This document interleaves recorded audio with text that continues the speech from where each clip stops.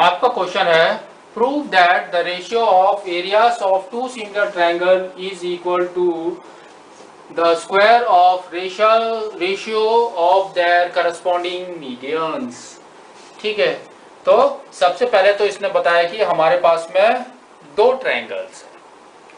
कौन कौन से ट्रायंगल्स हैं? वो हम यहाँ पर ड्रॉ कर देते हैं। सपोज़ ये ट्रायंगल है हमारा ए बी एंड सी ठीक है? और इसने, इसमें और भी एक चीज़ बोला है। Ratio of the corresponding medians medians का है। तो हम क्या करते हैं? एक मीडियन ड्रॉ करते हैं। यहाँ तक, यहाँ से लेके यहाँ तक। ये एक मीडियन है। Suppose m is the median m is the median ठीक है? अब हम क्या करेंगे? दूसरा एक ट्रायंगल लेंगे यहाँ पर। ठीक है? ले लिया हमने एक ट्रायंगल दूसरा, और इसको नेम कर देते हैं यहाँ पर P, Q एंड R ठीक है? और इसका एक मीडियन ले लेते हैं यहाँ तक। ठीक है? ये हमारा मीडियन क्या हो गया? S P S is the median ठीक है? अब, इसमें, इसने क्या कहा और हम क्या कर रहे हैं? जस्ट एक बार देखते हैं। अब क्या है हमारा? इसने कहा the ratio of areas of two similar triangles इसने पहले ही बता दिया कि ये दोनों ट्रायंगल्स हमारे सिमिलर हैं। तो गिवन में हमारा क्या आ गया कि वो ट्रायंगल्स आर सिमिलर ठीक है गिवन में हमारा क्या आ गया? Triangle A B C is similar to triangle P Q and R ठीक है इफ़ दे आर सिमिलर तो अगर ये दोनों सिमिलर हैं तो इसकी कंडीशंस क्या होंगी हमारी?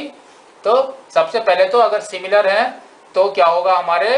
इनके ratios of their corresponding sides are equal है ना? तो हम इसमें लिख लेते हैं कि क्या लिखेंगे? कि A B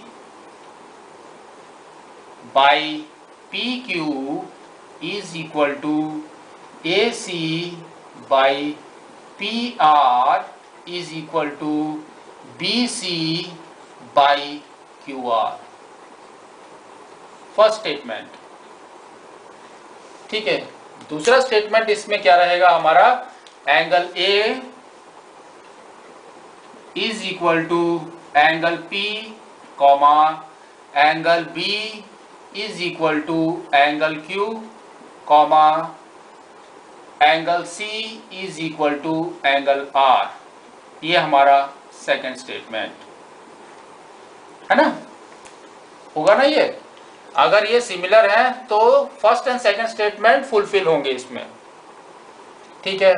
अब, इनके एरियास का रेशियो क्या होगा आपका?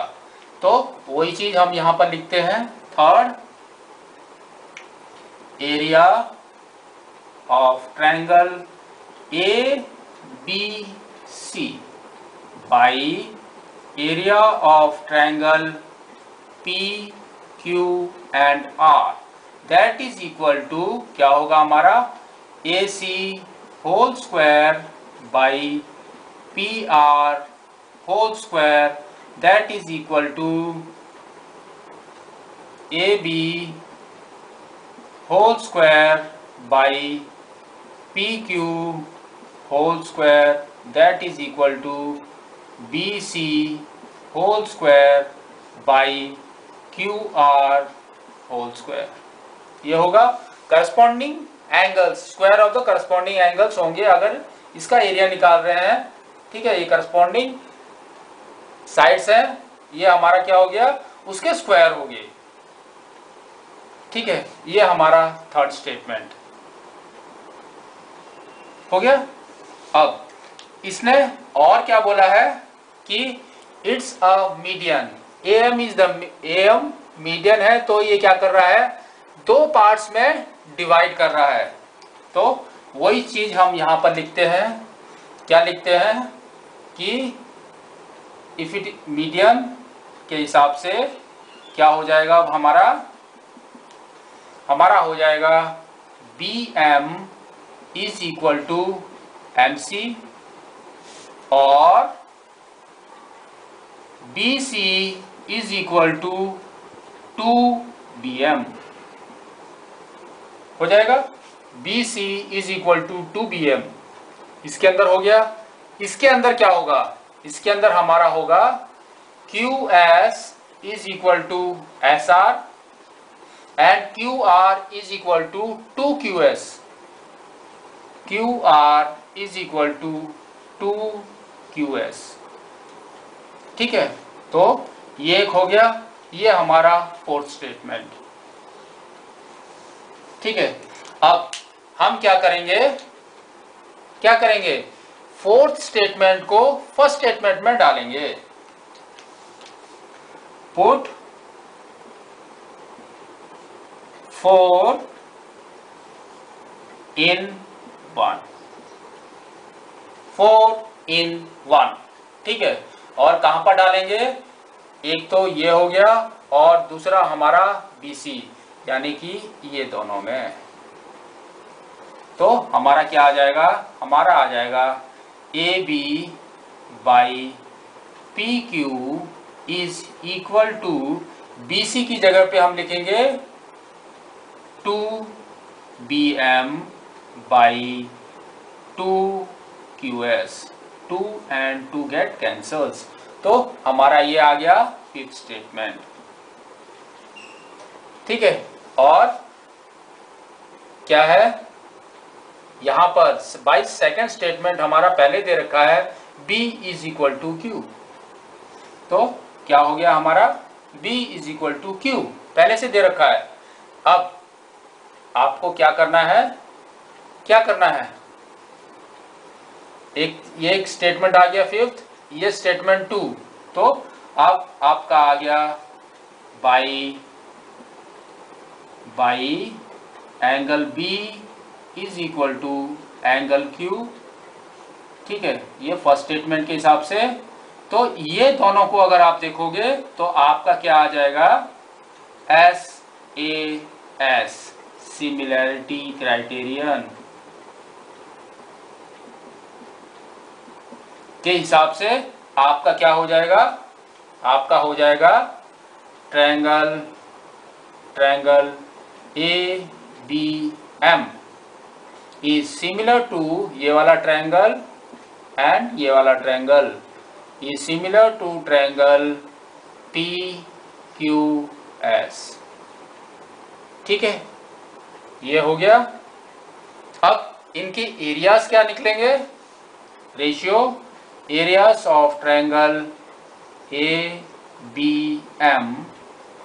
by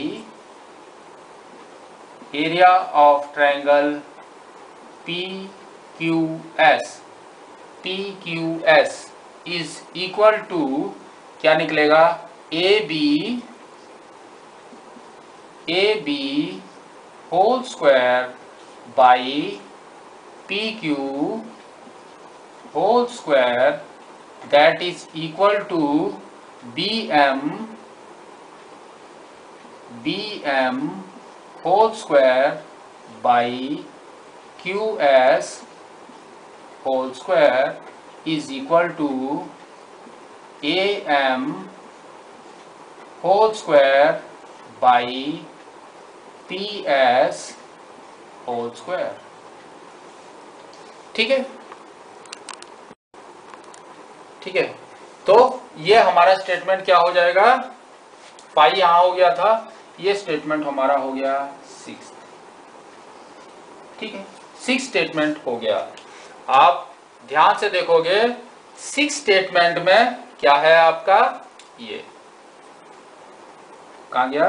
ये।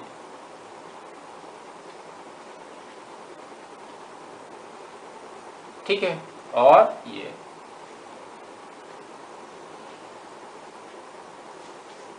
ठीक है? तो इसने क्या कहा? A B square by P Q square is equal to A M square by P A square और हमारे थर्ड स्टेटमेंट में क्या है? A B square by P Q square है ना? That is the area of A B C and A तो अब इसको और इसको जस्ट ध्यान देना है। तो हमारा क्या आएगा? By six and three we get we get क्या आ जाएगा हमारा? हमको जो प्रूव करना है, क्या प्रूव करना है? This area of triangle A B C by area of triangle P Q R is equal to A M square by P S square we get क्या मिला हमको? area of triangle ABC by area of triangle PQR is equal to the squares of the ratio of squares of their medians. That means a m square by p s square ठीक है? And स्प्रूट